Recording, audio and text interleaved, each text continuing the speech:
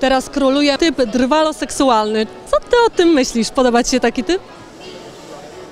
Wiesz co, e, tak, bo ja lubię e, e, męskich mężczyzn, tylko rozmawiałam z kimś ostatnio o tym i to już jest e, ponoć tak, że jak wchodzisz w Mediolanie do klubu, to już wszyscy mężczyźni wyglądają jak drwale. Więc w tej sytuacji przestaje to być aż tak atrakcyjne, bo, e, bo jest bardzo przemyślany, wypracowany, jest to jakiś trend fajnie jak to, jak, jak, e, jak to jest prawdziwe. O. A na co zwracasz uwagę w pierwszym kontakcie z mężczyzną?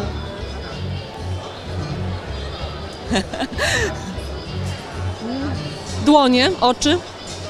Nie, w ogóle nie, nie, no coś tu nie mam takiego. Nie, jest jakieś ogólne wrażenie, które, e, które ludzie na nas robią i to bez e, względu, czy jest to mężczyzna, czy jest to kobieta, to myślę, że wiesz co, na to się, na to się składa wszystko I, i, i wygląd, i to jaki kto ma głos, jak, jak mówi, co mówi.